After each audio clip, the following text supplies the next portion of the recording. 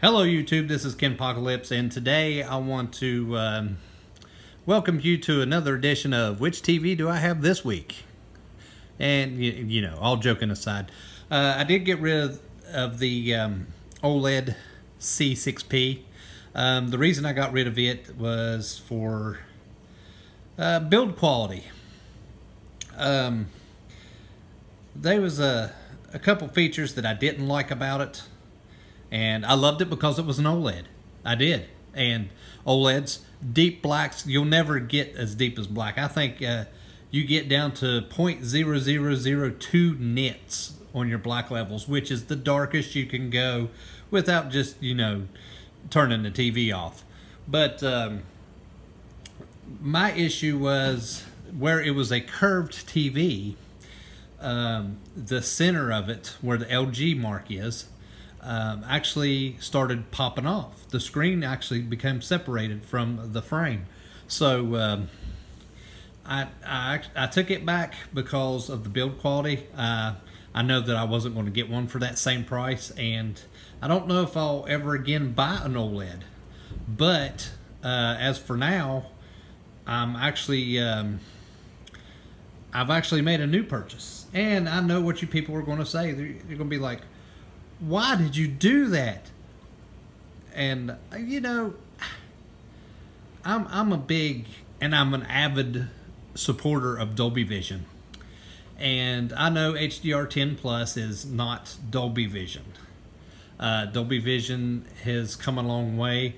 They're in Sony's. They're in, uh, let's see, they're in Sony's. They're in LG's. They're in Vizio. They're in TCL and Best Buy even puts them in their Insignia brand. It supports Dolby Vision. Uh, the only one that does not support Dolby Vision at the moment is Samsung. But Samsung supposedly, this is a rumor, is going to release an update to include Dolby Vision in some of their higher end TVs, uh, i.e., the MU or KS 8000 the KS or MU 9000, um, the Q7s, the Q8s, and the Q9s. Um, just for the simple fact that it's an overwhelming demand uh, for people uh, wanting Dolby Vision because it's so much, it's it's so much better when you're watching a movie. The metadata makes uh, makes the picture a lot uh, crisper, uh, more color um, more than what you could do with the standard HDR10. And now the HDR10 Plus is supposed to mimic Dolby Vision with scanning metadata instead of you know just a just just a single line of data all the way through the movie. That being said, I want to show you what I purchased.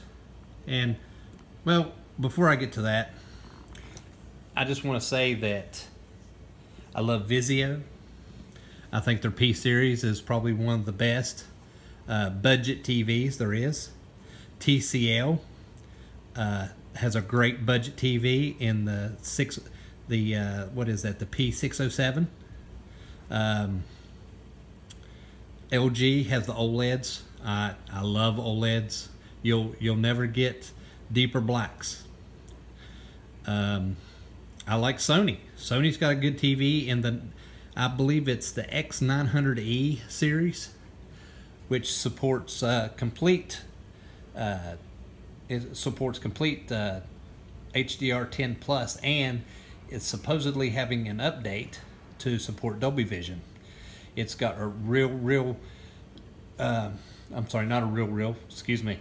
It's got a great uh, processor in it, so it makes it uh, makes the picture look 10 times better than like say the 850 800 or uh, especially like the 690 series that Sony's trying to push. Uh, if you want a good HDR TV with high nits um, I would go with uh, the 900 series. Uh, you can't go wrong. Uh, Sony's a good TV and I'm also you know I, I, support PlayStation through and through. I love a PlayStation. So um, now, that being said, you know, I love my TVs and everything. Um, a lot of people's going to be shocked to what I did purchase because, you know, I, I wanted an OLED. Uh, once more, I got it, and then I took it back. And but you know, I'm deciding not to throw a bunch of money around anymore. The reason I got that OLED was because of the great price. Um, but you know, I caught this TV on sale, and it is.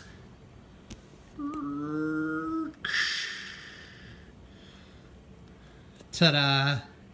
It is the Samsung Curved 8500 series. Uh, it's an MU 8500, so it's got it. It boasts, and when I say boasts, it means Samsung's bragging that it it is a full HDR 1000. It is 1000 nit TV. Now, if you go up to the 9000 series, I believe it's still a thousand nits. But if you go to the QLEDs, I believe they go up to 1400 nits.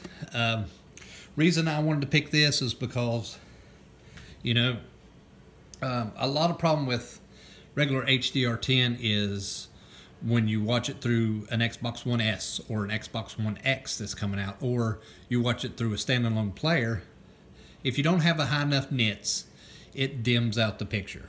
Now, I did notice that on LG, uh, the OLED I had, if it was running in Dolby Vision, there was no darkness at all. That's the way it's supposed to work. But if you tried a HDR movie, HDR10 movie, excuse me, um, of course it put that film over it. Uh, on an OLED, it's not as noticeable, but it still dims out the picture, and uh, but it still looks great. Um, but this one, that well, uh, saying that an OLED is at peak 741 nits.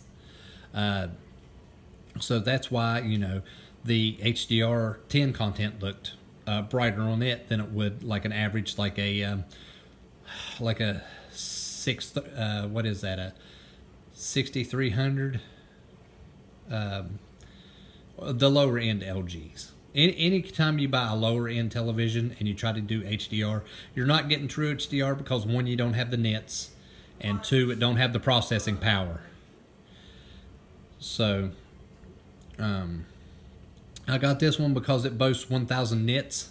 Uh, it's got a triple black engine, so um, unlike the KS 8000 series of last year, um, where this has the triple black um, engine in it, what it does is instead of having all that um, the glare and the light bleed through and stuff, it eliminates it.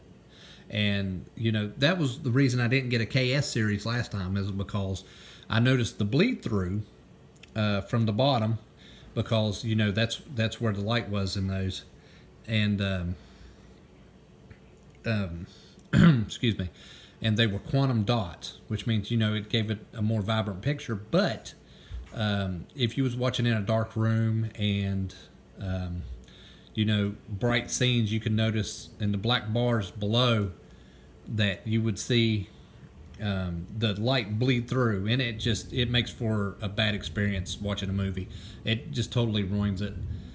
Um, but anyway, I got this because of the triple black, and let me adjust my camera there. I'm sorry.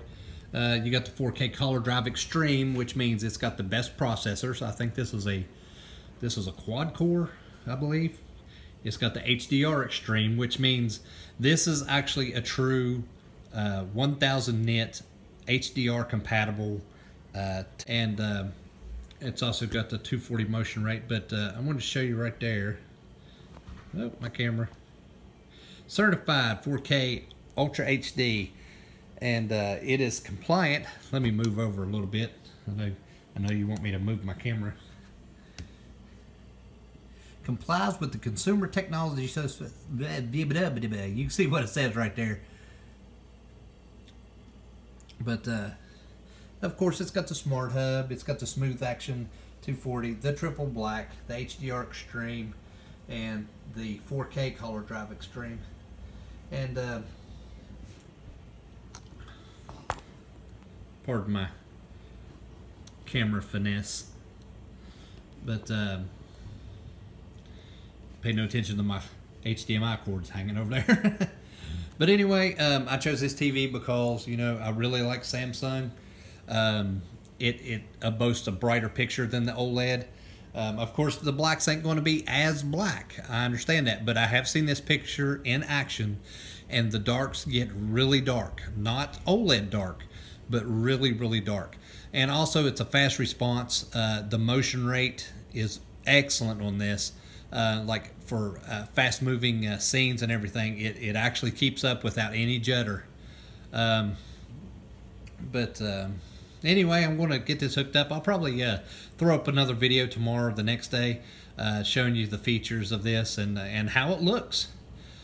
So smash that like button, subscribe to my channel, and share my videos, and I'll have some more for you later. Thank you.